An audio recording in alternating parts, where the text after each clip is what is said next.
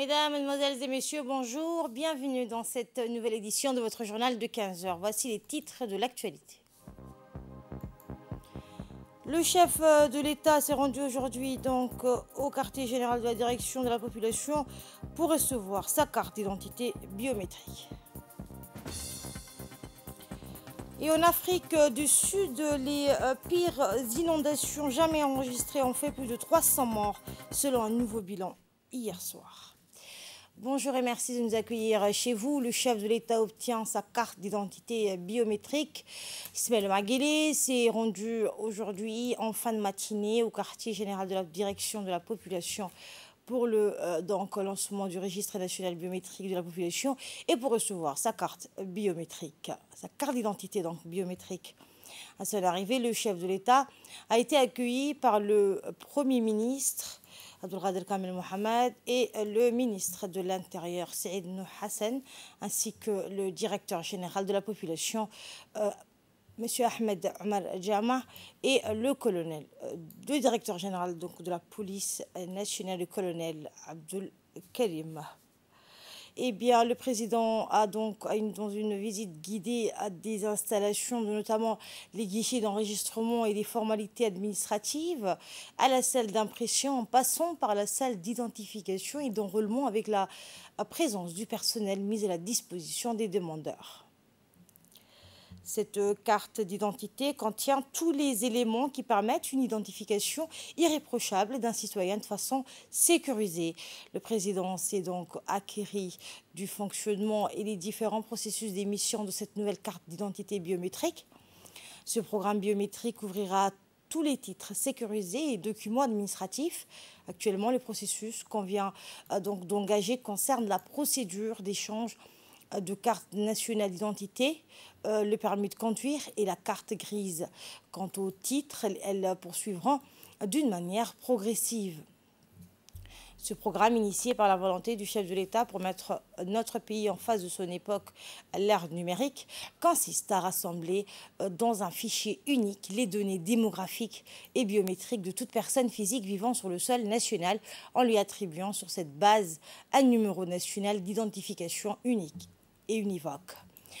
Quant au titre, elles poursuivront d'une manière progressive. Pour ce faire, le ministère de l'Intérieur, à travers la Direction générale de la population, a mis en place cinq guichets intégrés destinés pour le changement de ces titres au sein de Razika et dans le 4 arrondissement de 3, 4 et 5 dans la ville de Djibouti pour les régions euh, de l'intérieur. L'enrôlement débutera à partir du 15 mai prochain. Satisfait donc le président, euh, premier citoyen donc, du pays, s'est prêté à cet exercice et s'est acquitté de son devoir civique. Il s'est enrôlé et a reçu sa carte d'identité nationale biométrique. L'objectif de ce projet est de permettre à la population de disposer de documents administratifs entièrement biométriques, entièrement dématérialisés. Il convient de noter que cette carte biométrique s'inscrit dans la volonté du gouvernement de faire de l'état civil un vecteur de citoyenneté et d'être au rendez-vous dans cette révolution numérique.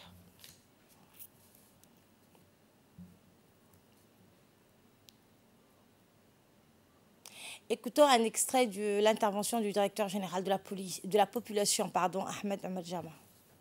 Le registre national biométrique de la population qu'on vient de lancer euh, ce matin avec l'enrôlement du président de la République, son Excellence euh, M. Ismaël Omar et un vaste programme initié par son Excellence depuis 2018 euh, par la création de la loi 2019, alinéa 9, qui crée le registre national des personnes physiques et les numéros nationaux d'identification.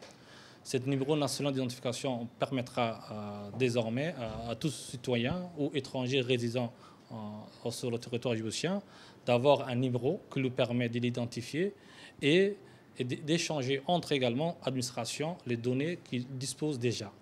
Donc euh, cette nouvelle technologie euh, permettra à nous, à la direction de la population également, à nos partenaires de programme, qui est différents services euh, bénéficiaires de ce euh, programme qui, ont besoin de l'identification des personnes permettra de manière sûre et certaine l'identification en temps réel.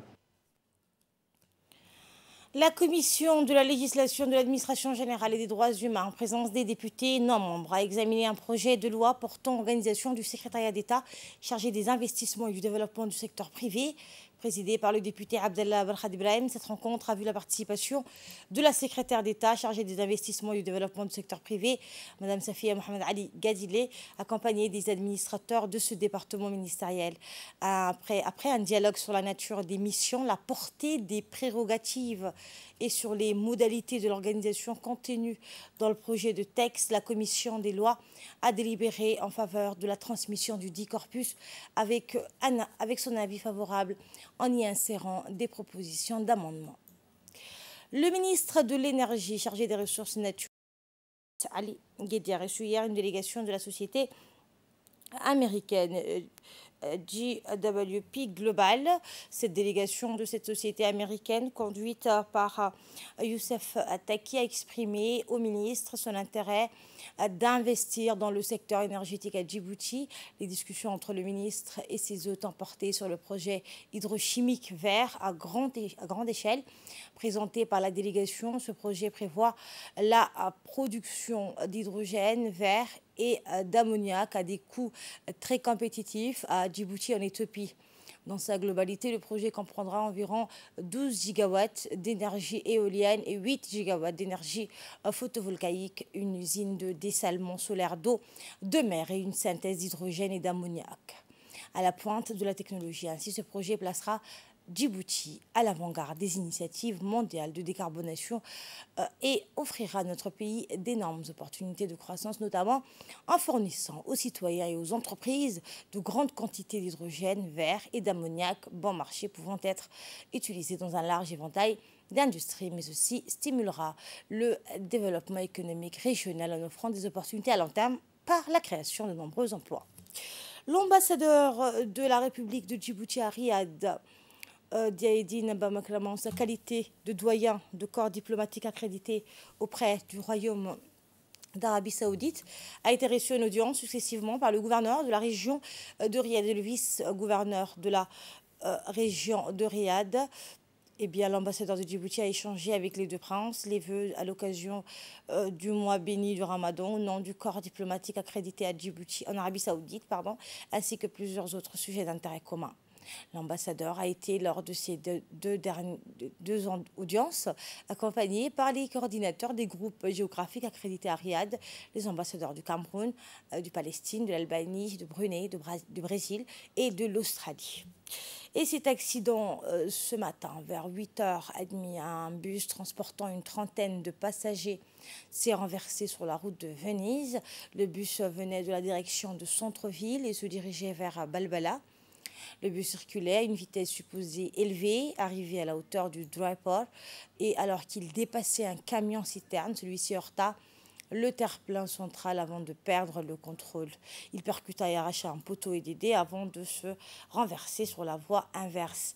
L'on déplore 22 blessés avec le conducteur, dont une femme grièvement blessée la brigade de la circulation routière de la police nationale, les ambulances et le sous-préfet du premier arrondissement sont aussitôt arriver sur les lieux pour désengorger la circulation et porter assistance et secours aux nombreux blessés. La vitesse excessive, la défaillance des dispositifs de direction et un défaut de maîtrise seraient à l'origine de ce sinistre. Le respect du code de la route et surtout de la vitesse est primordial sur nos routes.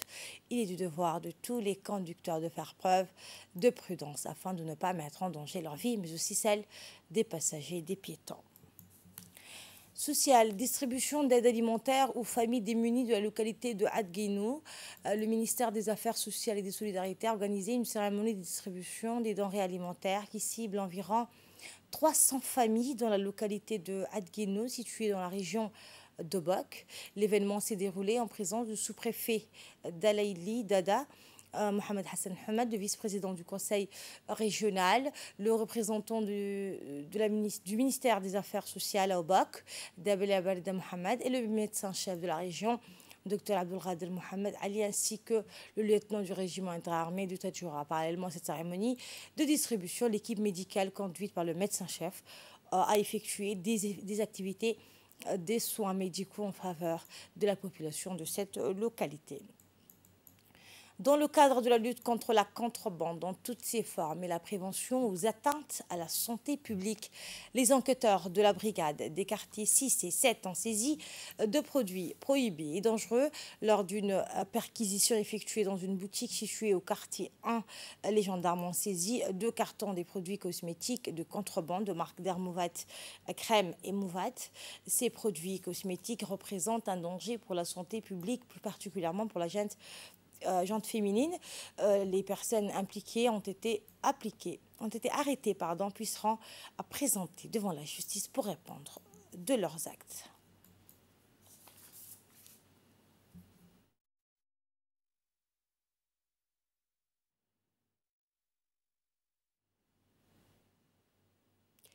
Les pires inondations jamais enregistrées en Afrique du Sud ont fait plus de 300 morts. Je vous le disais en titre, un nouveau bilan.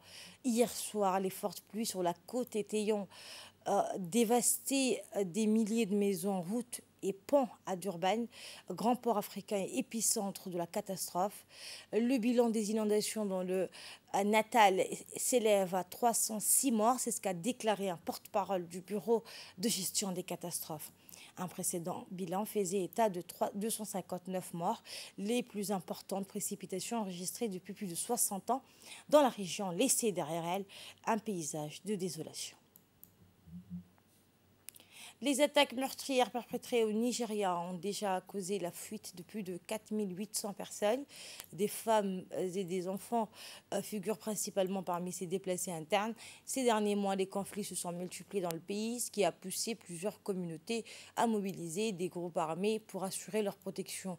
Cette situation a valu au gouvernement du président Bouhari d'être critiqué pour son incapacité à enrayer des violences quasi quotidiennes. Les raids menés euh, par des hommes armés dans cinq villages du centre du pays ont également fait plus de 100 morts, selon les responsables locaux. Nouvelle aide militaire de 800 millions de dollars pour Kiev. Les euh, forces russes sont prêtes à lancer un nouvel assaut euh, dans l'Est et dans le sud-est de l'Ukraine, selon le commandement des forces armées ukrainiennes. Voilà plusieurs jours que les troupes de Moscou se sont redéployées dans ces régions, alors que le Kremlin a décidé de concentrer ses efforts sur le Donbass. Et c'est la fin de cette édition. Merci à vous de l'avoir suivi. Je vous donne rendez-vous ce soir à 22h pour un nouveau journal. Très bonne suite de programme sur Télé Djibouti.